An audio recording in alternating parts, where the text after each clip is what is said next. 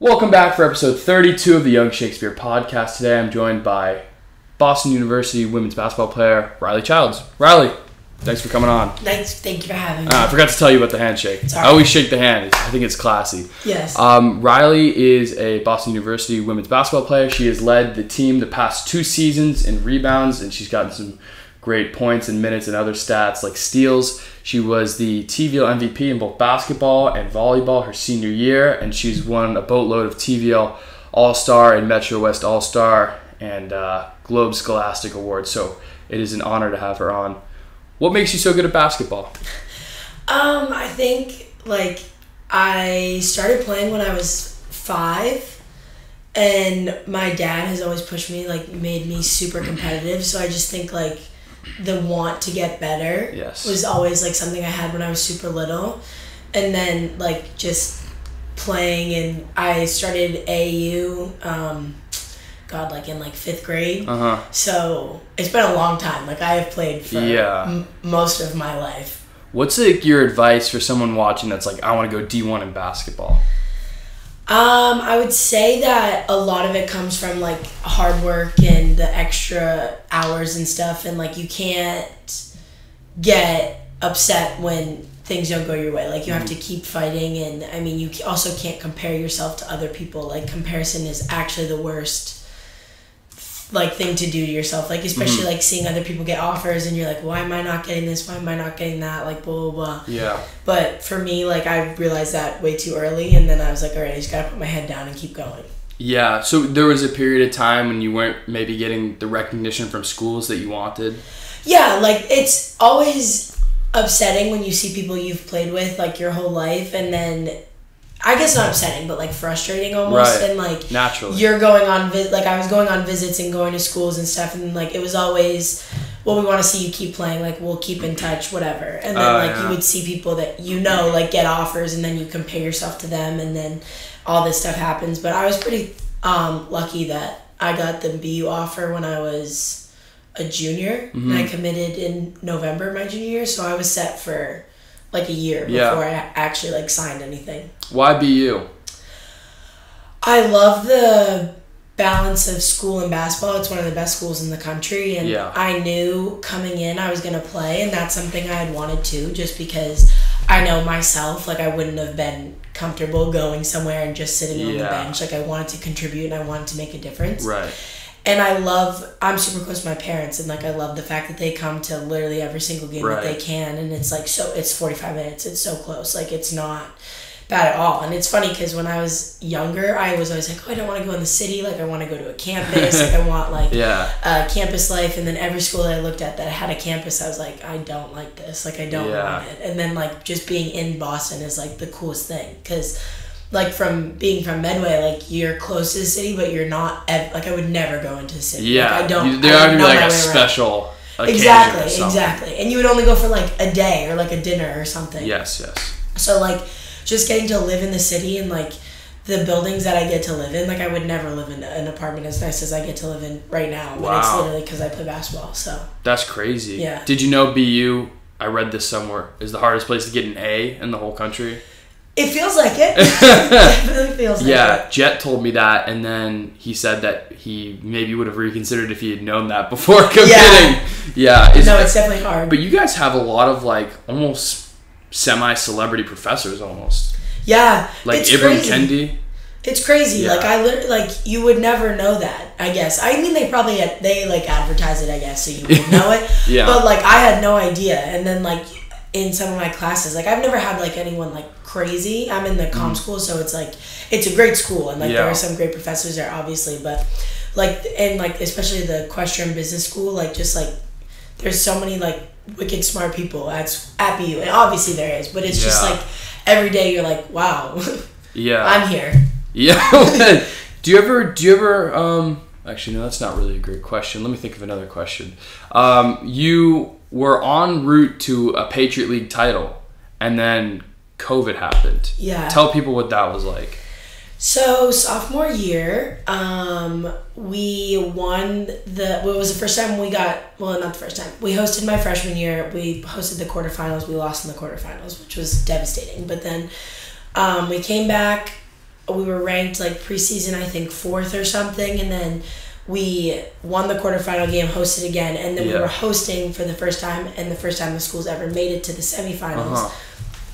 So we were hosting, and the night before, the boys, our men's team had won the men's side championship, Mm. and like we had all watched the game together, and it was like such an exciting time. Like we were so excited Yeah. for them, we were so excited for us, like to come back and win.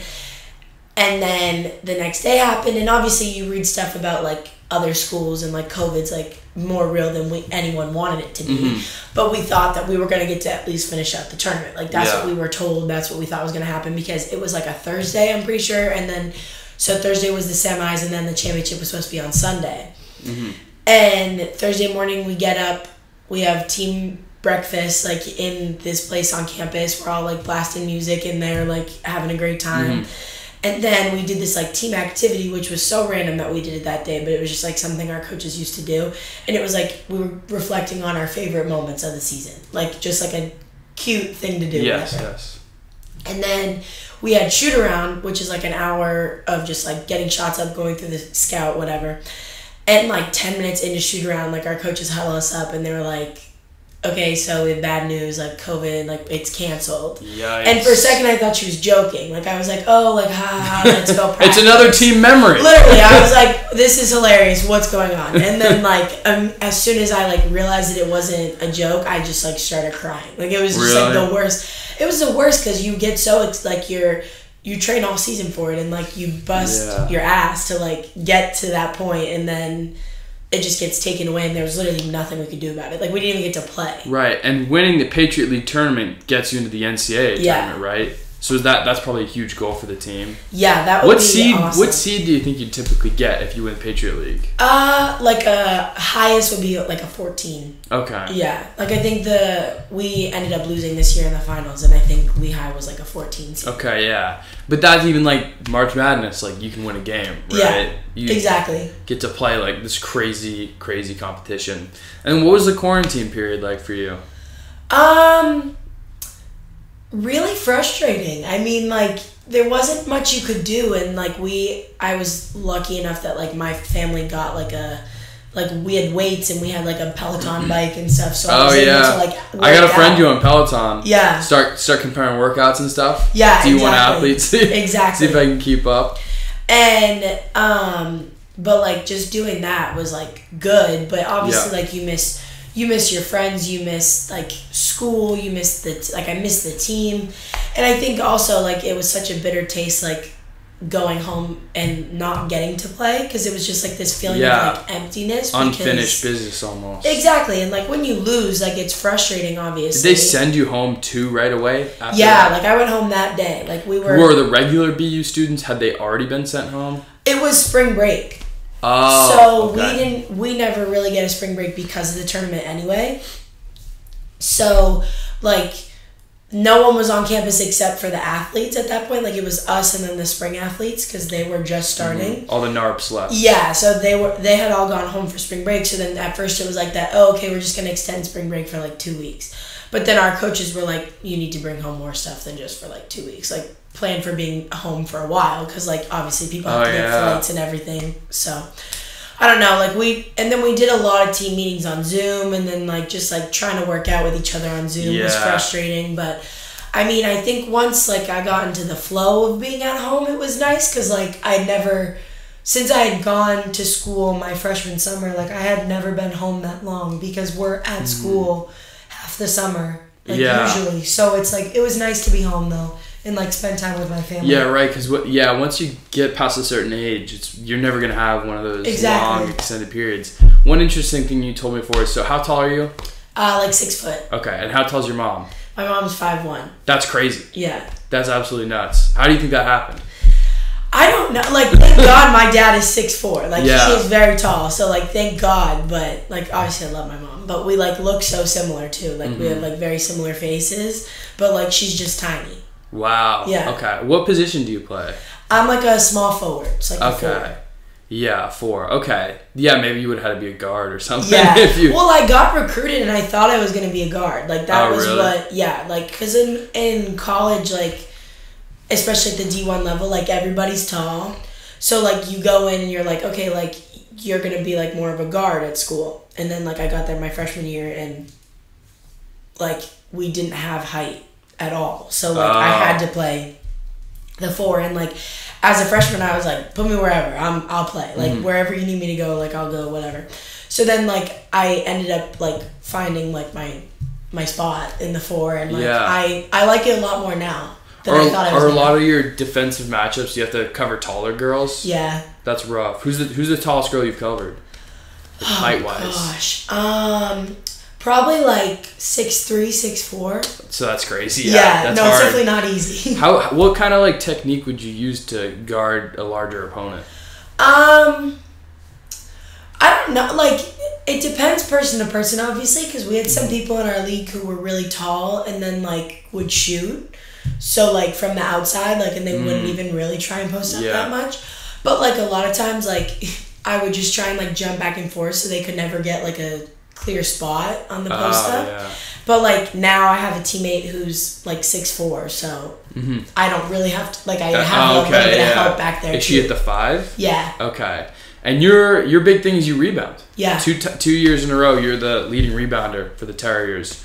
Like, what makes you good at rebounding? What's your technique? What's that all about? I don't even know if it's like there's not really a technique. I guess it's more like just e- like effort. Like that's rebounding is like one of the hardest things, and it's also one of the easiest things because you like can't practice it really. Like obviously you can practice boxing out, and like you have to actually do that to get rebounds, but like you just have to like want the ball more than like everybody Yeah, else, and yeah. like that was something too. Like we have a new coach now, but like our old coach, like my first three years at school, like um, that was one thing her and I had always talked about. Like I'd always been a good rebounder in high school, but like high school's different because like I was bigger than everybody, so Yeah. it was like a lot easier in high school. But like that was one thing too. She was like, if you can rebound for me, you'll stay on the floor. So that was just like I was trying to just get as much as I could, Yeah. and then I like I guess I got better at like I've gotten better at it over time. And there's like little tricks you can pick up, like reading the ball when someone Mm-hmm. Yeah. shoots it instead of like staring at the rim. Like I like try and watch Yeah, the right. shooter like to kind of judge it, but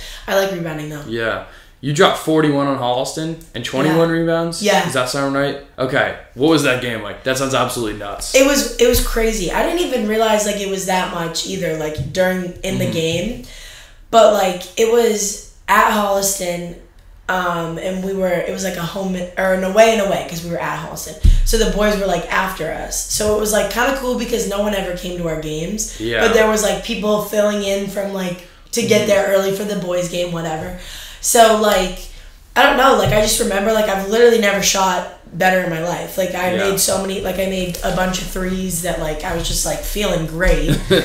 but and we didn't even win by that much. Like it was one of those games where I like I had to score. So for us to like do well and then after the game was over, like I, I don't even remember so was the game close? yeah, I think we won by like ten, but it was like kind of Oh, okay, close. yeah. So, um, I just remember after the game, like my coach being like, "You kind of went off," and I was like, "Oh, really?" And then like I was in the interview like after the game, and he like told me the stat line, and I was I was like, "Oh my god, I had no idea." That's crazy. Yeah. Wow.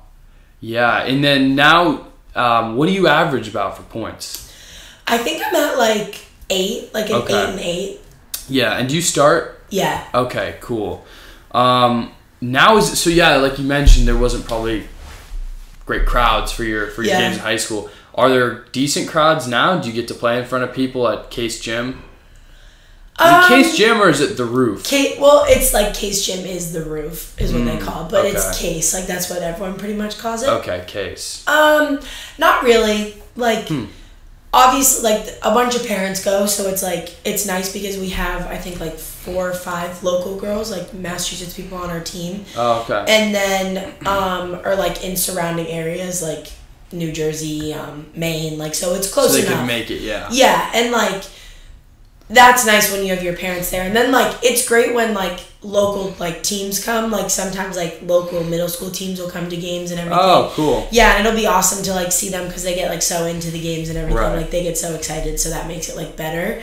And then we have like theme nights. Like we have like an ASL night, um, like things like that, like a kids game. So then those games are like Oh, like at fun. halftime and stuff. Yeah, like So that's always more like that makes it more fun. And then um, I gotta imagine like the Patriot League tournament, people start coming out. you would help like you would think. Oh, I mean okay. the the boys def the men's team definitely gets like a lot of fans. Like they have a decent crowd. But then the same thing with like the Patriot League tournament. It's just tough because it's, Oh, it's like spring it's break. spring break, so no one's there.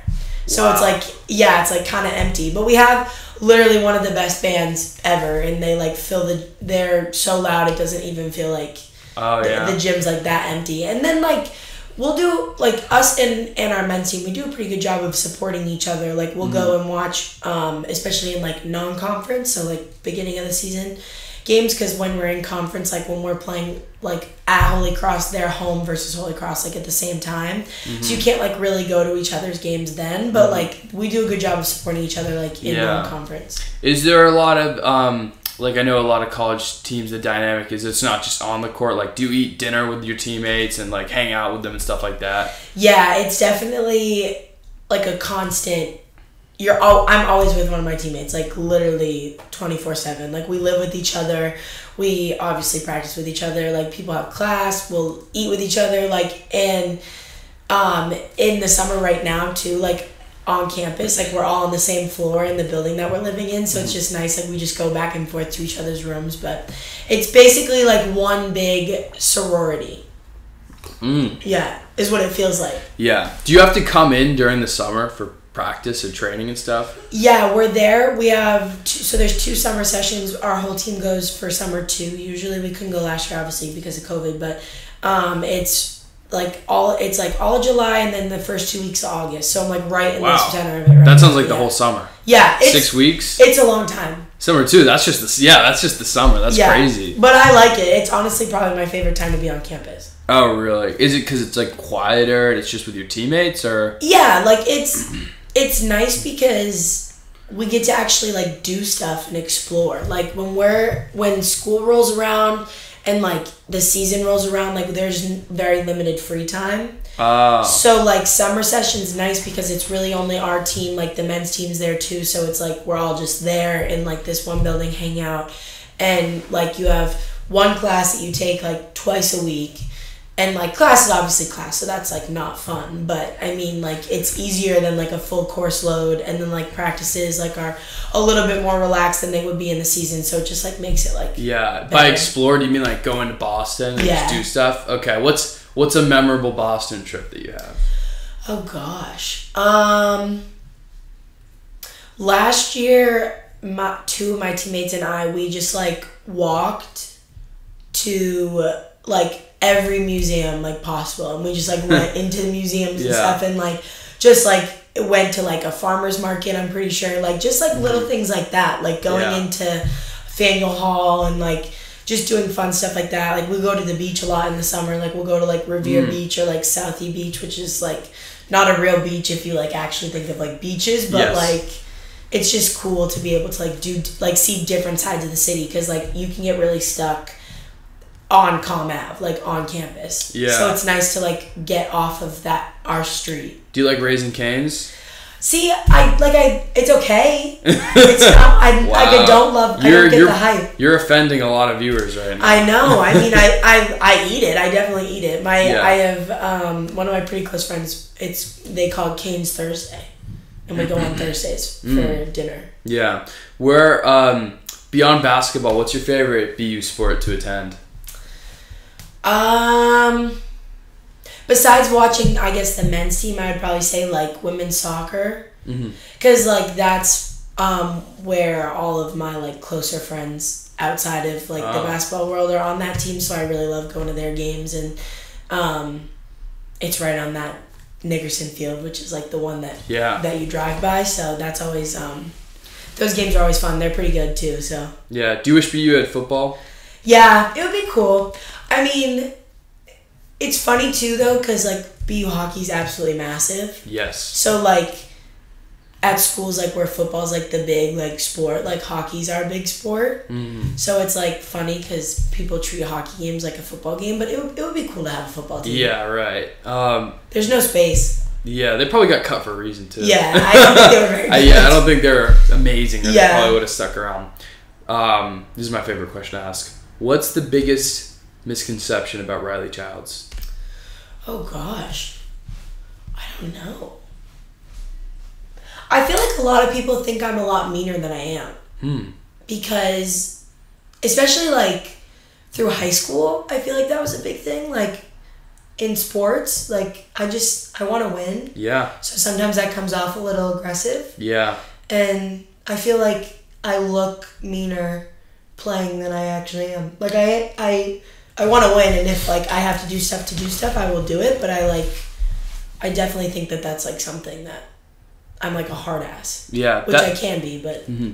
And that's sort of that's sort of interesting to parallel with the athletes because I had Spencer Cassell on from Harvard football, and he's 6'6", 285, and he Yeah. was like the biggest misconception about him. He said was he looks like a big mean dude, but he's Yeah. like I'm so nice if you get to know me, and I think you've been very nice. You've come to my house and been a lovely guest. Um, but I find I find that interesting. And do you think do you think at all that um, maybe being a female that isn't received as well, your competitiveness or your like toughness or your will to win? Yeah, I definitely think so. I think it's like I don't think it's necessarily taken that way with other females, especially at like the D1 level, like cuz pretty much everyone there wants to win. I mean, there can be times, but like I think like even going back in high school, like people would just be like why does she care so much? And like would Yeah. get so like offended that like and would take it so personally, which like it was it's never per like what when I would get upset or like when I would get like into something, like it would never be a personal thing. Like it would always be like I just want to win. And like Yeah. I catch myself sometimes getting really competitive at stupid things in like life, which is so dumb. Yeah. But like uh, and then like I have to like reel it in and be like, okay, okay, it actually doesn't matter. I'm like, we need to relax a little. But what gets you competitive? eh, like any any activity where there's like a winner. Yeah. Okay. Yeah. So ping pong, whatever Yeah, you play. like stupid stuff like that. Like I'm just like I I hate to lose. yeah. Do you ever do you ever play pickup basketball with just like your hometown friends or anything like that? No, because my friends from home, like none of them played basketball. Oh yeah. Which was like the nice thing too about like my my group of friends is that like it was a separate world. Mm-hmm. Like I feel like a lot of people in high school when they're friends with people that they play sports with, like it can get like weird when like someone if someone doesn't play or whatever, Yeah. like things like that. But for me, like my best friend is a soccer player. Like she plays at Sacred Heart, and like Mm-hmm. so like her like she knows nothing about basketball, and like Mm-hmm. I played soccer, but I hated it. Like so, it's like two separate worlds, and like it was never like a competition thing because I feel like that also happens too in like girls sports. Like it's always a competition. Like obviously it's a competition, but then like Mm-hmm. once someone takes it a little too far, then it's like oh well I hate this person now. Like it, Oh, okay. it would like be taken to that, which is I feel like with guys like you would like get competitive on like the court or the field or something, and then afterwards it's like oh whatever. Like, Yeah. But that like doesn't happen in So female you- sports. Okay, so you think that there's it gets on a personal level, people start to maybe feel opposed to each other. Why why do you think that is? I just think it's the way girls work. Like I think that people take stuff really personally sometimes, and mm-hmm. I think also like at like the younger ages, like when there are people like at like a Medway High School where you're playing a sport because you've played your whole life, not because you mm-hmm. actually like the sport. Ah. like in in high school when it gets to that point, so I just feel like that, and it just gets like I don't know, mm. girls are petty. Yeah. So then like one thing happens and it's like it spirals. Wow. Dang, that's yeah, that's rough. I I think that is a big thing that I've noticed with like I think I was talking to my friend Warren the other day and we talked about this huge fight we had and we were like screaming at each other and like, like close to like fighting mm-hmm. and then like 2 days later we were like you know oh sorry about that Yeah. yeah that's it's all good bro like sometimes that can happen Yeah. like weird yeah like guys can weirdly put those things aside Yeah. but yeah, but that's just the experience that I um, know about. Uh, you were a stud at volleyball too. What position were you in volleyball? I started as a setter my freshman year, and I had played. I played like my eighth grade year for like Medway Middle School, but that was like not really a thing. And then my summer going into high school, they were like, "Oh, you have bigger hands. Like, why don't you be a setter?" I was like, "Okay." And then I made varsity. I don't know how I made varsity my freshman year, but I was like, "I'm not complaining." Wow. I never played. Like I literally didn't see the floor. I think Yeah. I maybe played once. And then after that, like I did camps at Stonehill. Mm-hmm. And every year I would go do their volleyball camp because it was like one week and it was like I never touched a volleyball outside the season except for that camp just Yeah. to like get my skills back before like tryouts. Mhm. And then I was like, I want to hit. Like I don't like setting. Like it's not fun. Like I'm not playing. I want to hit. And then I was a right side because that's like the next thing to a setter. And then I was an outside hitter. Um, the end of my sophomore year, I became an outside, and then I, I loved it. And then it was just Yeah. like it just like flowed, and then I just kept kept getting better. What are the parallels between basketball and volleyball? Um, I feel like really the only one is like the hand-eye coordination. Like I feel like Mm. I and like I guess for basketball, like you have to like be stronger. Yeah. So like I feel like I was able to channel like my strength into hitting Mhm. in volleyball, but like other than that, like volleyball was just a nice change of pace. Like it's just like a different level of of competitive like aggression, I guess. Like Mm. there's the net there. Like you don't have to like touch your opponent Mm-hmm. ever. Yeah, you mentioned beforehand that you used to not like being tall. Yeah. Okay, what was that like growing up and being, oh my god, I'm tall, and then learning to embrace it? Yeah, like when you're lit, like I was, I was wicked tall. Like when I was in like kindergarten, like taller than everybody, and then everyone caught up, and then like I sprouted again in high school. Like my mm-hmm. freshman year, I think I was like five five, and then my sophomore year I was five ten. Like I grew a ton in like mm-hmm. a year, and I didn't like it because all my friends were so short, and I was like, I look like a freak. Like I just stand out. But then, like, I don't know, like, I got older and I was like, no, like, I like being tall. Like, it, it helps with, and it helps so much with sports. Like, I don't, Yeah. if I wasn't this tall, like, I, I don't know what I would be doing. Like, I Yeah. probably would just be a regular student. And, like, now I'm just like, yeah, I'm tall. Like, Yeah. I like it. yeah, it's a part of you, and it's you're an athlete and stuff like that. Yeah, that's and I think that's interesting that a lot of times that's another thing like girls would maybe struggle with versus boys would want to be Yeah. taller in general. Um, and then you were pretty good at track too. You were second at TVLs in the discus and the shot put your junior year, but then you did not compete your senior year. Yeah. What was track like for you? Track was, my freshman year was a third sport because then I was obsessed. The fact that I had made varsity for volleyball and basketball, I was like, all right, well now I need to do like I need to do like the the four year three sport varsity. Yeah. And so I was like, well, I'm not good at lacrosse. I'm not good at softball. I was like, track is the next best mm-hmm. thing. So I was like, all right, I'll do it. Like whatever. So then I was doing the hurdles, and I was absolutely terrible at them. And it was like, yeah, I was just because I was so nervous I was gonna hit him, so I would like jump over it. Like, you Okay, you yeah, go, like, you got to go right through. Yeah. Yeah, no, that was never me. So I was not good at those. And then I tried jumping because I was like, oh, I'm lanky, so like hopefully that would work. And it was never like good. And then I think my freshman year I tried the discus and I just like was good at it. Like it was just like it was easier like than every other event. And then I was like, all right, if I'm gonna do track, I'm just gonna throw. And then I like tried the javelin and I didn't like it. And then so I would just I then I like picked up the shot put and I was like, all right, this isn't bad. And then I did it for the th- those three years, and then my senior year, I was kind of like over it, and I was really upset that my I was disappointed in myself my junior year that I didn't break the school record in the discus because I wanted to so badly. What was the record? it was like 120, and I was 118 was my furthest Wow. throw, and I would beat it all the time at practice, which is what stunk because I was like, all right, I'm like.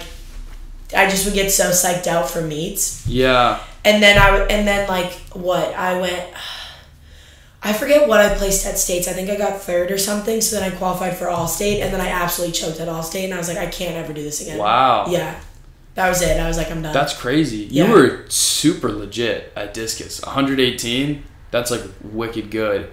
Um, did you throw from a stand or a glide or a spin in the shot put or a shuffle? oh gosh, I think I did a a shuffle. Okay. Yeah, I think I did the shuffle. Yeah. I so I for people that don't know, I coached track at DS in the winter and the spring this year because somehow with COVID it worked out with my school, and that's a big thing is like athletes making the jump from like a standing throw to then the shuffle's more comfortable, but then that gets too easy. Mm. Like that's just easy because they like know it and it's not that hard. But the glide is like the second best technique, and then the spin. I usually don't try to teach people that because it takes forever. Like you need to have an athlete for a good two years and be a good coach and have someone that's committed to learning it to make the spin work. But like, I don't know if you keep up with track at all. Like Ryan Crouser, he spins and he just broke the world record. Oh, okay. So you threw an eight pound shot. Yeah. You remember that? Okay. Ryan Crouser throws a 16 pound shot because he's a professional male. Mm-hmm. He threw it 76 feet. Can you believe that? No. Yeah. He's Wow. a beast. That's yeah. unreal. and he comes from like a family of all these throwers. Like his his cousin Sam throws for the University of Oregon, and his cousin Haley, and then his dad was an Olympian, and his uncle. So they're just like all they're all built Wow. for track. Yeah. He's like six seven and just Oh, like built like a lineman, and like, but he's like super quick. Yeah. like he does the spin. You know, that's how you throw. And then I had a kid on. Have you ever heard of Aiden Felty? He threw for Innovation Academy. I don't think so. Okay, if you'd done indoor, you probably would have seen him at Reggie. Oh, probably. Yeah, so this guy he threw sixty seven feet, and he's a kid from um, where is he from? Billerica. He's Wow. a beast, yeah, and he's but he's like my height, and he's he's like six foot, and he can do the rotational just like that. Yeah. that's crazy. Did you rotate in discus? Yes, I spun in discus. Okay, is I that hard to learn? Um, I think my freshman year was kind of hard to learn, but then once you get like, I don't know, And then once I had like the footwork down, it wasn't too bad. Obviously, then you have times where your spin is absolutely crazy, but yeah, you're throwing mean, it in a net and stuff. Yeah, exactly. But I don't think like I don't think that ever like was too bad of a like I don't think I ever really struggled with that one. I mean, there were meets sometimes where I would like I would spin, you know, like your first two throws you spin, throw it out of bounds. You're like, well, Jesus, and then you would just stand and throw. Like I would do that. I think that happened to me a couple times, which was so frustrating because obviously the spin you throw it much like you're gonna throw it farther than a Yeah. standing, but. I'm trying to picture Medway High School. I can picture your circle, and I see like there's the grass run up for the javelin. Yeah. And then you guys have like a ropes course right nearby your Yeah. discus area. Yeah. Did you get to use that? Yeah, so that's like um it's called IPEC. So your sophomore year, that's your gym class. Like it's Okay. it's called IPEC. I, I don't know what it stands for. I probably should, but I mean it, it was so long ago. But it was like like le- there were it was cool. It was like ropes course stuff and like um, you did that two days in the week and then one day was health class so it was like all year long. And then at the end of the year we had like a, a full day field trip to some indoor ropes course and it was just like climbing stuff. And then we had this thing called IPEC day and it was like every class in the sophomore class like each gym class like was their own team and we all competed against each other in like all these different events and stuff.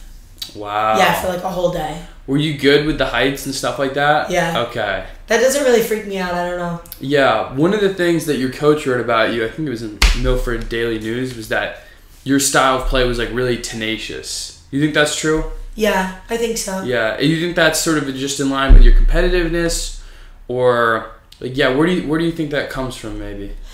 I think it comes from the competitiveness, but then I also think it comes from like I feel like I would do I the way I play is like I would just do anything for like my coach or the team. Like Yeah. so I like whatever they need me to do, like I'm gonna do it. So I just feel like that's kind of where it comes from. But I feel like most of the tenaciousness comes from like Yeah. the competitiveness, because like I, I've already told you, but like I actually hate to lose so much. So like, and like even if it's in like a drill in practice, so it's like I think that's just where it comes from. So you, you know, threw it all states in discus, and you were TVL MVP in volleyball. Did you get any offers or hear from college coaches in those sports? I got a couple letters for track. I think the like the most serious letter I got was from like Lafayette. Okay, because sometimes you get letters. Yeah, like, I know, like, exactly. They come down to guidance, and then it's like Yeah. some school. It's like Acorn, whatever. Yeah, exactly. What? So like, I had, like, a bunch of those. get too. Yeah. Yeah. so I had like a bunch of those, but I think the only like serious one was like Lafayette, and then but like my coaches all knew, so they were like, "There's no point in like us reaching out to people because they knew that I just Yeah. did it to do it." Because I feel like yeah, one eighteen as a junior, because that's typically like people that don't know you. I mean, you don't. By the time senior year's over, you're usually going to a college already, so you can't use Yeah. those marks. But I feel like one eighteen would definitely get you to some like Yeah, at least D twos, if not like maybe D one schools. Yeah. Weirdly, did you ever think like, hey, maybe I'll try to walk on to like the BU volleyball or like track team? That must have popped in your head, like, oh, I can be a two sport college athlete. it popped into my head for volleyball, but BU doesn't have a volleyball team. Oh, okay. So yeah. But when I so I like I said I committed super early, but I after I committed like got a couple like my high school volleyball coach got a, a bunch of calls from schools. And then kept trying to convince me like if I just quit basketball and focus on volleyball, like I Oh could my go God. somewhere like elite. And I was like, no, like I don't want to. Like I've played basketball literally my entire life. Like I could not throw it all away. And like I love basketball, so like I'm thankful that I didn't do that. But like there are days where I'm in like a hard workout and I'm like, wow, I should have picked volleyball. like there are days where I'm like, yeah, Yeah. I, I don't like the running in this anymore. who who reached out to your coach? Oh gosh, I think um, Northeastern was one of the schools that reached out because he had sent a couple people there from his club team, um, and then like I did the Stonehill camp, and so like my senior year, my junior and senior year, the way they did it was like we the first day you had like a tryout and you would get put on teams, and then like the teams like that was how you would go through the rest of camp. So there was like obviously different levels and stuff. So my junior and senior, year, I was like on like the top level, and I only knew that because like I was with the kids that they were recruiting. Yeah. So like you could tell because the head coach was at like all the stuff that we did, and then like they would go play like pick up with the team like during Wow. breaks and stuff. Yeah, which was so cool. it's called pickup as well in volleyball. I think so. and then my senior year, like going into my senior year, I played with them like once or twice, the Stonehill girls, and I was like, wow, this is intense. Like it was totally different than anything, because like high school volleyball obviously is different than college, but it was so cool. And like I had like the I had talked to like their coach, and I was like, yeah, like I'm committed for basketball, but like this is so much fun, like whatever. But I never anything like serious. yeah. I thought about it though. Okay, that's interesting. Um, the one thing for me, maybe you can explain because I'm not really, I don't know a ton about volleyball. So you play, it's like six people, right, on the Mm-hmm. court, and then there's like beach volleyball that I'm seeing in the Olympics. Shout out to the U.S. ladies who just beat the the Chinese team. Um, what is the like? How do people get into beach volleyball? That's what I always wonder. I'm like, did they start out playing it like a Medway High on the Yeah. six on six teams? I have no idea. I think, I think a lot of times, like, and I could be totally wrong because I'm not in that world, but I think a lot of the times when you play club volleyball, like, volleyball is one of those sports which I didn't know this until I started playing in high school. But like, if you play club, like, you play all year round. Like in basketball is all year round. Wow. But like volleyball was one of those things where like you literally would have no time to play another sport. Like and I barely had time. Could you just be indoors at a gym? Yeah, and like Mm-hmm. I barely had time. Like it was hard. Like definitely in high school, balancing like, like I would have you'd have school, practice was at like four thirty to six thirty, and then I would eh, have AAU from like seven to nine or something like Dang. practices and stuff. So that was definitely not easy to balance, but like. I don't know, just it was it's like a cult. Like that's the best way I can describe like the, the club volleyball world. Like everybody knows each other and like they all play on these teams and stuff. So I think like beach volleyball, like it's just something that you just like progress into. And then it's like it's way harder.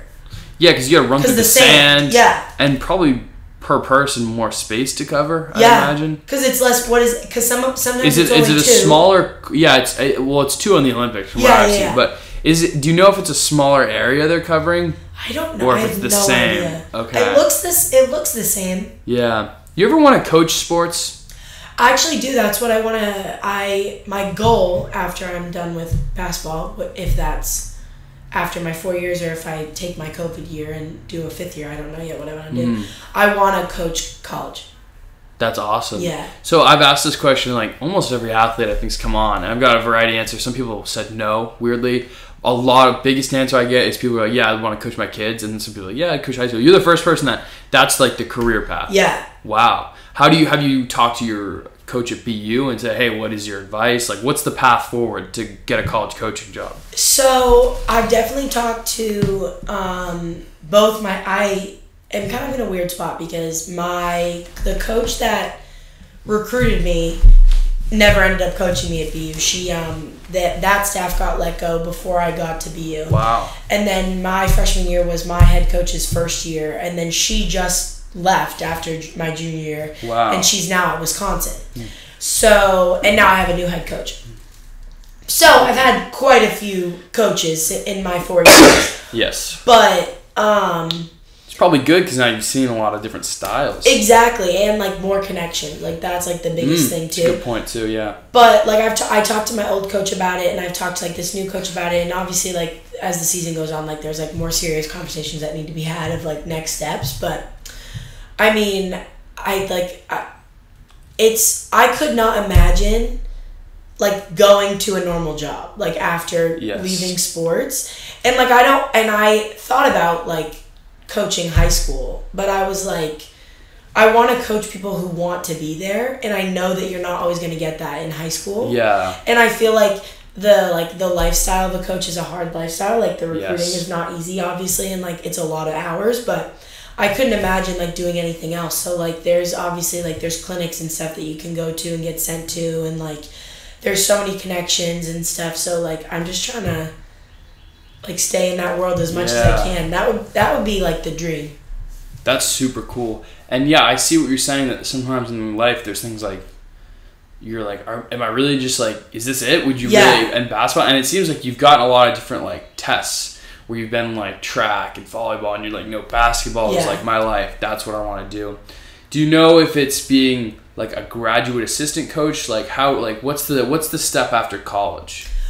if you had to Um, guess. I think a lot of times it's either a grad assistant or like a dobo. So the dobo is the director of basketball operations. Oh. So it's like they're not a coach, but they do like they're like like a head manager kind of like if that makes sense. Like they do all like the behind the scenes stuff like the scheduling the like scheduling hotels food like trips like all that kind of stuff. Like they just mm-hmm. like help the staff. So that's like kind of the next step. But i think for i'm in like kind of a unique position because well a lot of athletes are because we get a fifth year of eligibility because of covid. Yeah. so the plan, my plan is I want to play my fifth year. Like that would be ideal is to play as long as I can without like playing professionally because Mm-hmm. Does that mean you have to go to graduate school at BU or? um, yeah, so I would get my master's in something. I don't I don't know. I have to figure that out. And I could also take it somewhere else. Like I don't really know yet what the what's like in the future.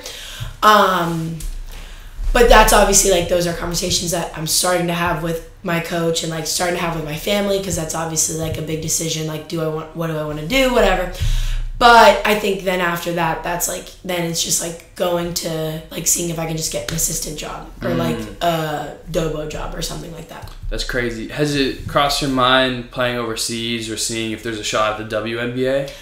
Um, not the WNBA, but I've thought I've like thought about playing overseas a little Mm-hmm. bit, but I think I've like I've talked to people who've played overseas and it just seems lonely. Like it's like a very isolating Mm. Or experience. something. Yeah, exactly. And I would only want to play if it was like somewhere cool. And obviously that would be an unreal experience to get to go overseas and like play basketball, but Mm. like I also don't think my body can like do it Really? that long. Yeah. Are, Like you- are you already old. feeling the signs of like beating, getting beat up from year Yeah. basketball? Yeah. What is that? Is it just soreness, like in general, or is it like injuries are coming easier?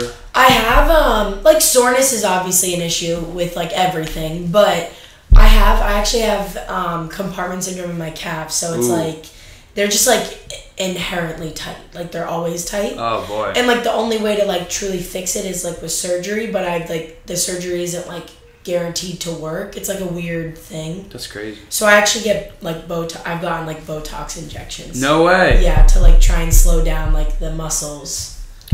I had a Harvard football player on the other day, um, which will be out by the time this one is posted, and he said that he has he had like a super serious knee surgery and he Yeah. got screws in his knees. But then he like points at the camera and he goes, "I'm not saying which knee it is." Yeah. For you Ivy League football teams listening, because he's like literally, he's like, yeah, if they knew what knee was hurt, they could like target the knee or something. I was like, that's crazy. That is crazy. yeah. But yeah, so like that's and obviously like basketball like a huge part of it is running. So like the fact that like it hurts to run sometimes sucks, but like I don't know, just I don't think my body is built to play.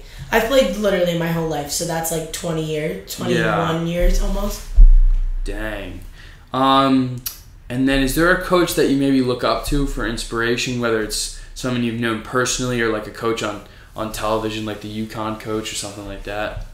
Um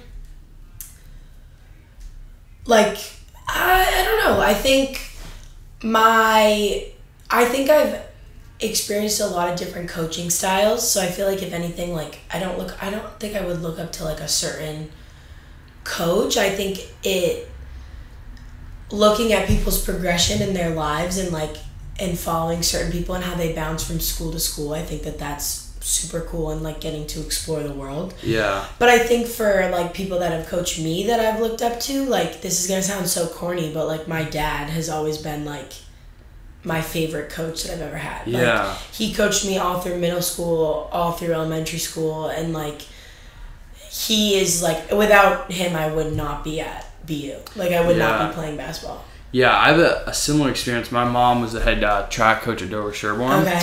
So I got coached by her, and there was definitely hard parts of it, like you know your mom being around like all the time through high school. But it was also really cool because she knew like all my best friends, and I got to spend time with her all throughout high school. So a little bit like I can see Yeah. how that could be like a really good experience too. Yeah. And then you kind of touched on that coaching is somewhat of an arduous life. You know, there's you've got to be recruiting and the hours are weird, stuff like that. Is that is that unappealing at all? Is there a sense of that? Um, I don't think so. I mean, I actually got to have. I had a really cool experience. I helped my old AAU coach this past spring, and I actually helped him coach like Mm. two of his teams, and like I went and traveled with them like to two tournaments and stuff, and like just being in the gym like that and like being back in that AAU like vibe was like made me feel more excited to want to be like a college coach eventually. Like I think it's I think obviously it's I'm it's gonna be hard like adjusting to the, the different mm-hmm. lifestyle, but I would much rather be sitting in a gym for ten hours in a day than have to go sit at a mm-hmm. desk from like nine Yeah. to five. Like I'm just not meant to do that. Have you thought about do you have a preference for coaching men's or women's basketball? Um, I think I would obviously probably like I will. I'll start in women's, mm-hmm. and that would be like I've I've thought about that like how I think that there should be women's coach more women's coaches in the men's basketball. Yeah. Especially like in college. Yeah. Yeah. especially in college. Like there's there's none. Like there are no women in in a lot of these Yeah. schools, and I think that that would help out some teams. But I don't know, like that's and it's such a different game too, though. That's like the hard jump is like men's basketball and women's basketball are like two totally different like things. Yeah. So I don't know. Oh, really? What do you what do you think the substantive differences are between men's and women's? I think um, men's is a lot faster. Like, and Mm. I hate saying this because I hate being like, oh, well, one's be-. like I don't think it, anyone's better than the other. I think women's Right. basketball is um, looked down on a lot because we can't dunk, but like. Mm. I think that that's not fair. Like I think that the women's game is played the way basketball is supposed to be played. It's more oh like yeah, because originally they weren't originally they weren't thinking people were gonna be jumping up yeah, and slamming it in. Exactly, and it's more like fundamental based. Like you're playing like team basketball a lot of the times, and then like men's basketball is a lot of like one on one like skill. Like I'm gonna break you, like I'm gonna break my defender down and go to the basket. Huh. There's like women's basketball is like that, but like in and especially in like my experience, like a lot of play, like we have a lot of plays compared to like men's basketball. So it's just like two different styles, like relying on different skill sets. Yeah, I've never I've never heard it broken down like that. I feel like that's kind of a fascinating take about that it's more true to the sport. It's like a team basketball. Mm-hmm. And that is like a big thing that you kind of see in the NBA, right? That kind of holds up your point where teams can be like in football or something like something like that. You'll see like, you know, it really teams don't really repeat in football. It's so rare. The last time it happened was 2003 that they won the championship. But now all the time, like if two or three guys decide to go on one team, mm-hmm. they can just go and they're doing isolation and one on one and just kind of changing the game like that. So you kind of you want something more pure like that. Was that at all? Are you? Would you say you're a team sports person, or you're kind of? You sound like almost. And I don't mean this to be an insult, but competitive in an individual oriented way where you're focused on like I want to be my best, like in track, right? How discus you were like all about that. Would you say you're more individual or team? I feel like I've evolved. I feel like when I was younger, I was more individual. Mm-hmm. But then I think when I got to college, like that's another thing too, is like it's bigger than yourself. Like you have to be Yeah. team focused and especially like going from being the leading scorer like going from averaging what i think it was like 20 or something my high, my senior year of high school to then now like 8 like that's a big difference like Yeah. so and like i was the only one in medway who like actually like enjoyed basketball kind of. Really? from not enjoyed but like played outside of high school basketball Yeah. so like it was a lot of focused on like me, me, me, and then when I got to college, it was like okay, I'm not this top, sh- this like hot shot anymore. Like I'm, Yeah. I'm one of fifteen. Like I have to, I have to do my work Mm-hmm. for the team, and I think that like that's something that I've like now. I'm so focused on like the team success that like the numbers don't really like I don't focus on like how I'm averaging or like what I'm doing. Like that's like I like to tell people like I'm like the hype man of the team. Like that's my role as like I've been in like a leadership position the past two years. Like I was a cap I've been a captain since my sophomore year.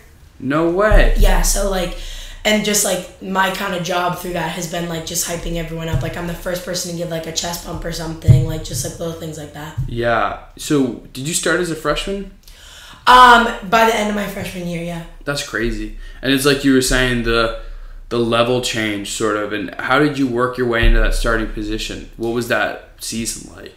My freshman year was um, interesting because it was a brand like a brand new staff, so the whole team was like it was just a new like vibe of the team, and like I just got there and like my coach like she came after she got hired like came to my house we had dinner and she was like you're gonna play like I, I need you to be ready to go.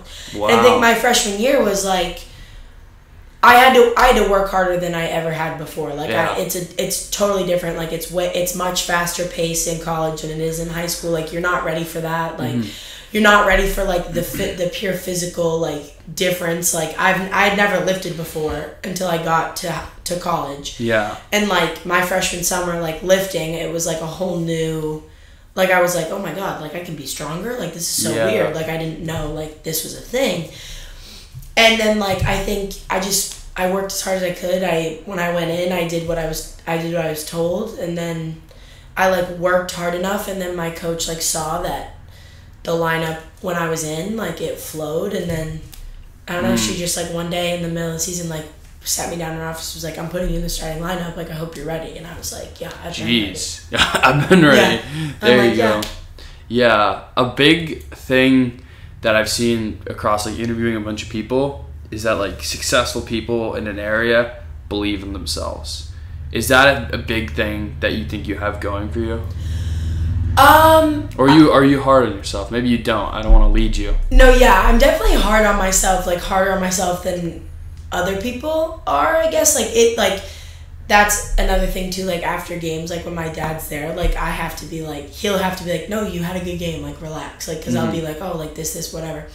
But like I think to some extent though you have to believe in yourself because especially at the the division 1 level and even at the college level too. Like I, I don't know if it's like this in D2 and D3 but like you're not going to be babied and like celebrated through everything. Like Yeah. I was celebrated all through high school. Like not to like this full extent but like you're celebrated when you're like that person on the team.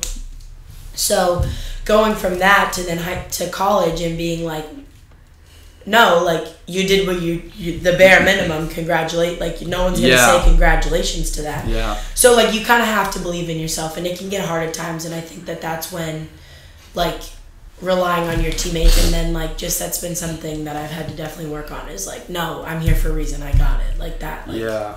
mindset had to change Yeah, that's a big thing too that people can get is like, oh my god, once you step from high school and you jump in that uh, college, it's like, do I deserve to be here? That was the thing I struggled with my freshman year at Stonehill. I was like, oh my god, like everyone's so talented on this Yeah. track team. Like that kid won a state title in the long jump. That kid won a state title in the 400. Like, oh man, I didn't do that. Do I? Yeah. Yeah. Do I deserve to be here? And then like one time it was right before the conference championship. One of the captains just goes, "Hey, like any of you freshmen," and I was like, it was almost like he had read my mind. I hadn't even said it out loud to anyone. Any of you freshmen, you gotta know, like, you absolutely deserve to be here. The coaches picked you. Like, you're here for a reason. Yeah. And that was, I was like, okay, I gotta be ready to go. yeah Yeah. Would you say when you were that person, as you put it in high school, you know, scoring like 20 points a game, like how, I'm curious, how did other teams deal with that? Were they trying to double you? Were they changing around their defensive schemes? Because it sounds like maybe the offense at Medway was kind of centered around you. Uh, yeah, I think um, my senior year, I felt it the most. Like there was a couple schools would play like a box and one, so like, Mm.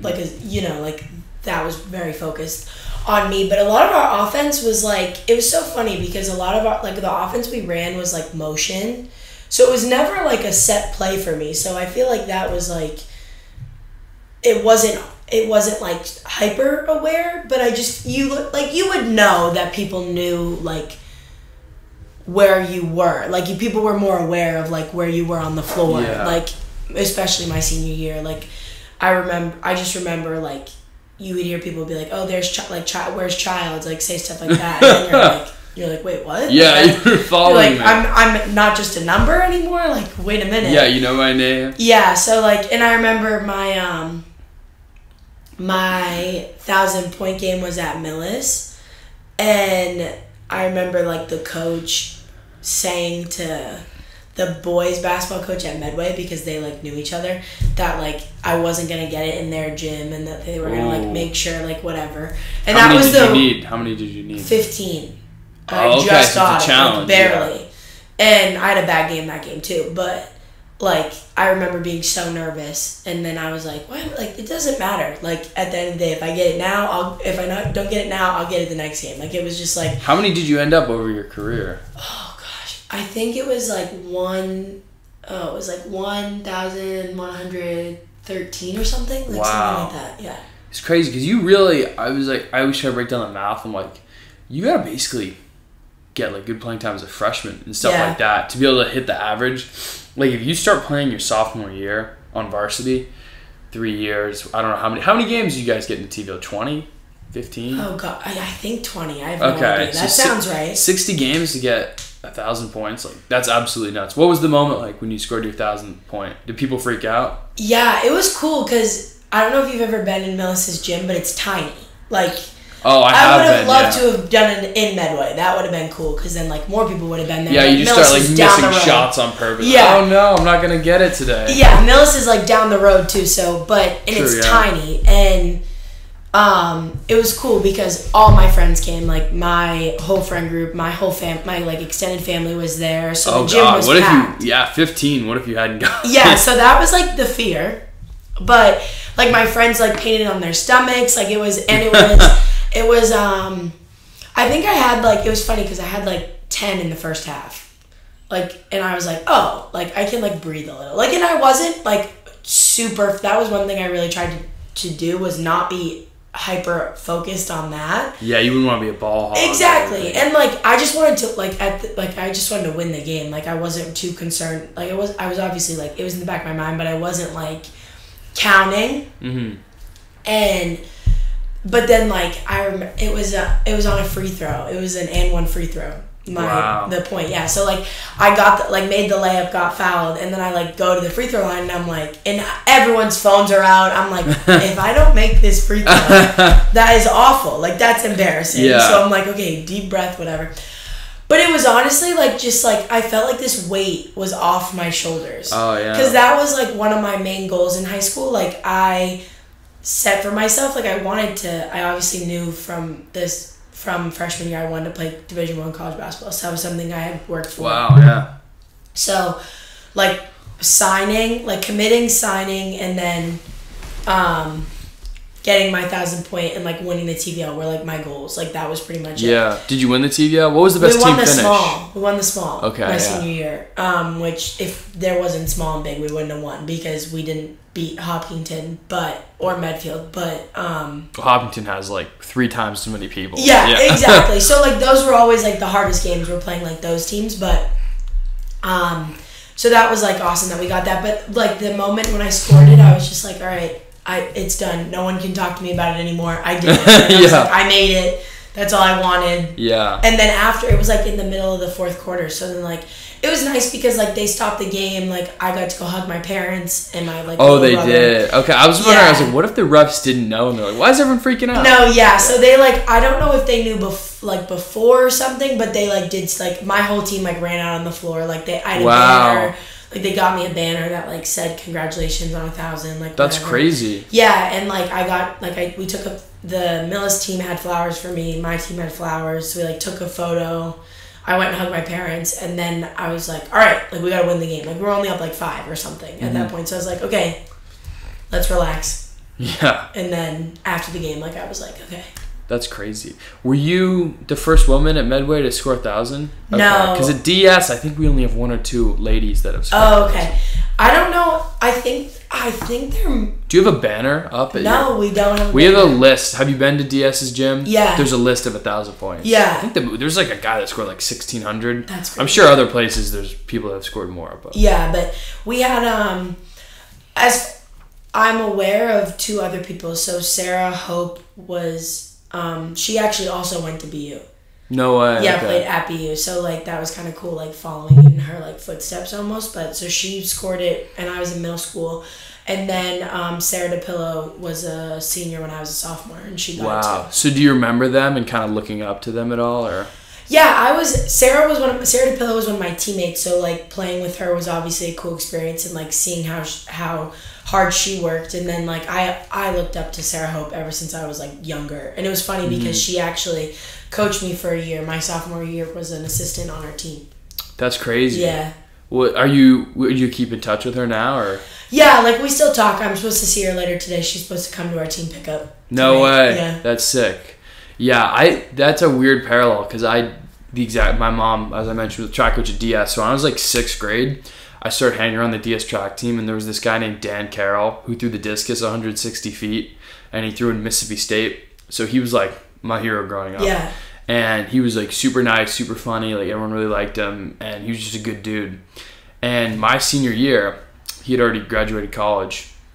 He was waitering in uh, Brighton, and he came back and coached me as a senior, and that was crazy. Um, he's actually coming on the podcast now soon, but it's kind of funny how, and that's another level of like, and I wouldn't say I was as good as him in track. I threw like 123 in the disc and like 155 in the javelin, but the point is like it's weird when you start your heroes you're kind of in the same Yeah. walking the same path as them roughly you're like oh man am i really like them Yeah. am i really doing it like they did No, yeah, that's exactly how I, I'm like. It's so weird. Like, I remember like committing to BU, and I was like, wow, like, I like looked up to Sarah, and now we're like, we're gonna play. We played for the same team now. Like, Yeah. it's just like weird. Like, you mentioned- coincidence. you mentioned pickup is that bu alum and everything like how does that work So it just random like no, so like for summer session, we'll have like we'll be pick, we'll just play pickup as a team twice a week. And like the alum don't usually come, but she like texted one of us and was like, "Hey, like, can I come to pick up like this weekend or whatever?" And Wow. like, "Yeah, sure." But it's fun just because like we'll get in the gym and we'll play for like an hour, just like get up and down. have you seen um the metro west article about spencer merkin from holliston spencer runs summer runs it's like this tournament not tournament but it's this kid who brings together like metro west kids Okay. and they just play pickup at millis high Oh, okay. Yeah, and so I thought that was pretty um, a pretty cool article. Um, is there any any advice that you wanted to? Actually, no. I think I already asked you that. Um, I was gonna say, um, that's probably about how long we've we been talking? Yeah, about about an hour. Uh, any goals for the up for the upcoming season or two? Um, yeah, I want to win the Patriot League. I want to go to the Mm-hmm. NCAA tournament. I think that that's that's like anyone's dream when you play college basketball. It's like March Madness, but um, we made it to the finals last year. We lost in the finals, Brutal. and yeah, it was it was awful. But, Yeah. Like I've been there now. Like we've all been there. Our whole team has been there now, so we know how what it feels like, and we know what we need to do, and that's like my overall goal. I don't really have any personal goals. Like for like once I got to college, I was kind of like I just want to play hard and I want to win. Like I Mm. was like I don't I don't care about like the individual awards and stuff because I feel like that can take away from the team. Yeah. But I just want to win. Well, I think that's a great uh, natural stopping place. Uh, and I will be rooting for you guys win the Patriot League and uh, go to that tournament. I'll be rooting for you guys. So huge shout out to Riley Childs. Big thanks to her for coming on the show, and thanks to everyone for watching episode 32 of the Young Shakespeare podcast. Please like and subscribe. It brings a smile to my face, and tune in for the next episode. Thanks for watching.